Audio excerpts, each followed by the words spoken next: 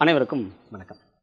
Graphic டிசைனிங்கை கற்றுக்கணும் அப்படின்னா நம்மளுடைய சேனலுக்கு நீங்கள் சரியான நேரத்துக்கு வந்திருக்கீங்க அப்படின்னு அர்த்தம். ஃபோட்டோஷாப்புடைய பேசிக்லேருந்து CorelDRAW InDesign PageMaker Premiere Pro அப்படின்னு சொல்லிட்டு நிறைய விஷயங்களை நம்மளுடைய சேனலில் அப்டேட் பண்ணியிருக்கோம் தொடர்ச்சியாக நம்ம சேனலோட இணைந்துருங்க. இந்த சேனலுக்கு நீங்கள் புதுசாக வந்திருக்கீங்க அப்படின்னா மறக்காமல் சப்ஸ்கிரைப் பண்ணி இந்த பெல் ஐக்கனையும் கிளிக் பண்ணிக்கோங்க. வாங்க வீடியோக்குள்ளே போயிடலாம்.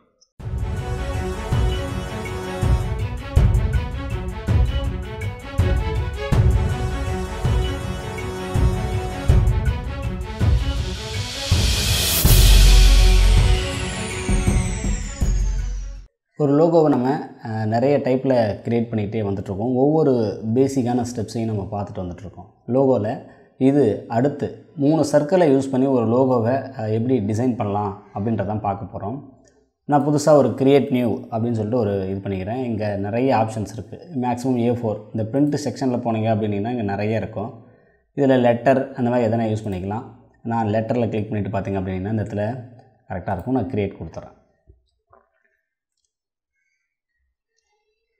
ஃபைல் ஓப்பன் ஆனதுக்கு அப்புறமா நமக்கு இந்த இடத்துல ப்ராப்பர்ட்டிஸ் பார் இருக்கிற மாதிரி தான் நம்ம எப்போவுமே வச்சு செட் பண்ணிகிட்ருக்கோம் ஆனால் எனக்கு என்ன தேவை அப்படின்னா இப்போது நான் வந்து மூணு சர்க்கிளை யூஸ் பண்ணி ஒரு க்ரியேட் பண்ண போகிறேன் இப்போ நான் ஒரு சர்க்கிள் முதல்ல போடுறேன். இப்போ இந்த சர்க்கிள் பார்த்தீங்க அப்படின்னா கரெக்டாக ஒரு லெவல் இருக்குது இங்கேருந்து நான் என்ன பண்ணுறேன் இன்னொரு சர்க்கிளையும் க்ரியேட் பண்ணிக்கிறேன். ஓகே ஒரு தேவையான அளவுக்கு நான் என்ன பண்ணிட்டேன் ரெண்டு சர்க்கிளையும் க்ரியேட் பண்ணியிருக்கேன். பட் எனக்கு இந்த ரெண்டு சர்க்கிளுமே என்ன தேவையில்லை அப்படின்னா ஃபில் தேவையில்லை. நான் வந்து வெறும் ஸ்ட்ரோக்கை தான் யூஸ் பண்ண போகிறேன் அப்படின்றனால. இப்போ பார்த்தீங்க அப்படின்னா உங்களுக்கு கரெக்டாக தெரியும். ஓகே இப்போ நான் இன்னொரு சர்க்கிளையும் எடுத்து நான் என்ன பண்ணிக்கிறேன் இந்த இடத்துல போட்டுக்கிறேன். இப்போது இந்த மூணு சர்க்கிளுமே கரெக்டாக ஈவனாக அதாவது இந்த ரெண்டு சர்க்கிளும் எங்கே இருக்கோ இதோடைய இந்த ரெண்டு சர்க்கிளுடைய மிட் பாயிண்ட்டு இந்த இடம் தானே? கண்ட்ரோல் ஆர் இப்போ பார்த்தீங்கன்னா இந்த இடம் இப்போ இந்த இடத்துக்கு இது செட் ஆகிற மாதிரி வந்து என்ன பண்ணிக்கிறேன் நான்? அழகுபடுத்திக்கிறேன். ஓகே இப்போது இன்னும் கூட நம்ம கொஞ்சம் தள்ளி கூட வச்சுக்கலாம். முதல்ல இது ரெண்டுத்தையும் என்ன பண்ணிக்கிறேன்? குரூப் பண்ணிக்கிறேன். இப்போது இது ரெண்டுத்தையும் செலக்ட் பண்ணிட்டு மூணுத்தையுமே செலக்ட் பண்ணியிருக்கேன். அலைன் இப்போது கரெக்டாக பார்த்தீங்க அப்படின்னா ஒரு சலைன் பிடிச்சிருக்கோம். ஓகேங்க இப்போது இந்த இடத்துடைய சென்டர் பாயிண்ட் இருக்கு இல்லைங்களா? இப்போது இந்த மூணு இடத்துக்கும் சேர்த்து ஒரு சென்டர் பாயிண்ட் இருக்கும். கண்ட்ரோலையே கொடுத்தேன் அப்படின்னா சரியாகும். இந்த இடத்துல வந்து நான் என்ன பண்ணுறேன் அப்படின்னா இந்த சென்டர்னு வச்சுக்கங்களேன். ஷிஃப்ட்டு ஆல்ட்டி ஒன்றா பிடிச்சிக்கிட்டு ஒரு சின்னதாக ஒரு ஓகே இப்போ பார்த்தீங்க அப்படின்னா நம்ம ஒரு ஷேப் வரைஞ்சிக்கிறது உங்களுக்கு தெரியும். இந்த கையில் என்ன டெல் பண்ணிடுறேன்?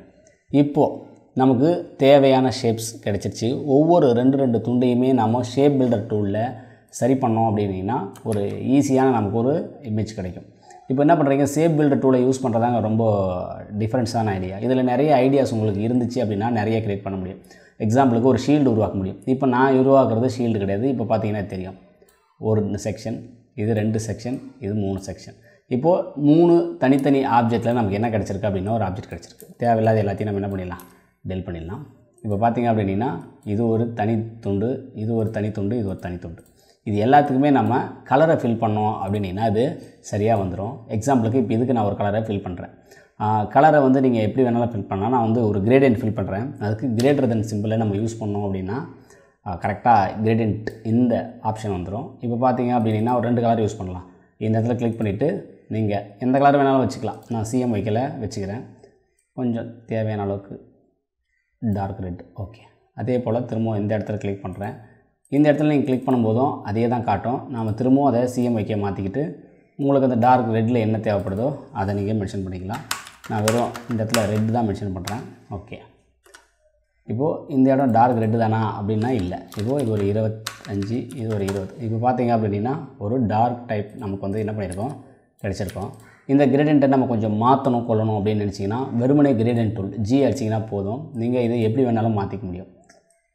ஓகேங்களா? உங்களுக்கு என்ன பொசிஷனில் தேவைப்படுதோ அந்த பொசிஷனில் என்ன பண்ணிக்கலாம்? இதை நீங்கள் அழகாக அரேஞ்ச் பண்ணிக்கலாம். ஓகே எனக்கு இந்த பொசிஷன் போதும் அப்படின்னு முடிவு பண்ணிட்டேன். மொத்தத்தில் இருக்கக்கூடிய இந்த இதில் நான் ஸ்டோக்கை முதல்ல நன் பண்ணிடுறேன். ஓகே. இப்போது இதுக்கு எனக்கு தேவை இல்லைங்களா? ஐ ட்ராப்பர் டூல் வெறுமனே ஐ தான் ஷிஃப்ட் கிளிக் பண்ணால் ஆகிட்டோம் திரும்ப இந்த பக்கம் இருக்கிறதுக்கு செலக்ட் பண்ணால் முடிஞ்சது. உள்ளே இருக்கிறதுக்கு எனக்கு தேவை இல்லை. இப்போது இது தேவையில்லாத போயிடும் இப்போ பார்த்தீங்க அப்படின்னா மொத்தத்துக்கும் நம்ம என்ன பண்ணியிருக்கோம்? ஒரு ஷேப் க்ரியேட் பண்ணிவிட்டு உங்களுக்கு அழகாக இருக்குது இது பார்த்திங்கன்னா இது மற்ற வேறு ஏதாவது முறையில் நம்ம ட்ரை பண்ணணும் அப்படின்னா ரொம்ப கஷ்டம். இதை இன்னும் கொஞ்சம் நாம அழகுபடுத்தணும் அப்படின்னா என்ன பண்ணுறேன் அப்படின்னா முதல்ல இதை காப்பி பண்ணிக்கிறேன். எடிட்டில் போகிறேன் காப்பி எனக்கு அதுக்கு மேலேயே பேஸ்ட் ஆகணும். எக்ஸாம்பிளுக்கு இப்போ கண்ட்ரோல் போய்ட்டு வெறும் பேஸ்ட் தட்டினா தள்ளி விழுது பார்த்தீங்களா? ஆனால் சேம் இடத்துல வேணும் அப்படின்னா கண்ட்ரோல் அதாவது எஃப் அடிச்சு கண்ட்ரோல் எஃப் அடிச்சிங்கன்னா பேஸ்ட் இன் ஃப்ரண்ட்டுன்னு இருக்குது கரெக்டாக பேஸ்ட் ஆகிருக்கும் இப்போது டபுள் கிளிக் அடிங்க. அந்த கிரேடர் தான் அடிங்க. கரெக்டாக அங்கே இந்த சிம்பிள்களுக்கு ஒர்க் ஆகிருக்கும் இதில் இந்த ரெட்டை மட்டும் செலக்ட் பண்ணிட்டு ஒப்பாசிட்டியை என்ன பண்ணிக்கிறேன்? கம்மி பண்ணிக்கிறேன். ஒப்பாசிட்டி கம்மி பண்ணதுக்கப்புறம் இந்த மாதிரி காட்டும். அடுத்து நீங்கள் செய்ய வேண்டியது என்ன அப்படின்னா விண்டோஸில் போங்க. டிரான்ஸ்பரன்சி அப்படின்னு ஒன்று இருக்கும். நீங்கள் நம்ம ஃபோட்டோஷாப் யூஸ் பண்ணுற இடத்துல பார்த்தீங்க அப்படின்னா ஸ்க்ரீன் மல்டிப்ளை இந்த மாதிரி நிறைய கொடுத்துருப்போம். அதில் இந்த இடத்துல மல்டிப்ளை அப்படின்னு நாம் தரோம் இப்போ பார்த்தீங்க அப்படின்னா மல்டிப்ளை கொடுத்தோன்னா கொஞ்சம் டார்க்காக இருக்கிறது உங்களுக்கு தெரியும். இந்த விஷயம் உங்களுக்கு இது செட் ஆகலை அப்படின்னு நினச்சிங்கன்னா நீங்கள் என்ன பண்ணலாம்? மாற்றி இந்த பக்கம் வைக்கலாம். ஓகேங்களா? இப்போ இருக்குது இதே தான் காப்பி பண்ணுறேன் அப்படியே கண்ட்ரோல் எஃப் பேஸ்ட் பண்ணுறேன் இப்போ பார்த்தீங்கன்னா உங்களுக்கு தெரியும். இதுலேயும் இந்த இடத்த நான் என்ன பண்ணுறேன் ஜீல கரெக்டாக மேலே அந்த ரெட் இருக்கிற மாதிரி பார்த்துக்கிட்டு ஜீரோ மல்டிப்ளை உங்களுக்கு இந்த இடம் டார்க்காக இருக்கிறது தெரியும். அதே தான் கண்ட்ரோல் எஃப் இப்போ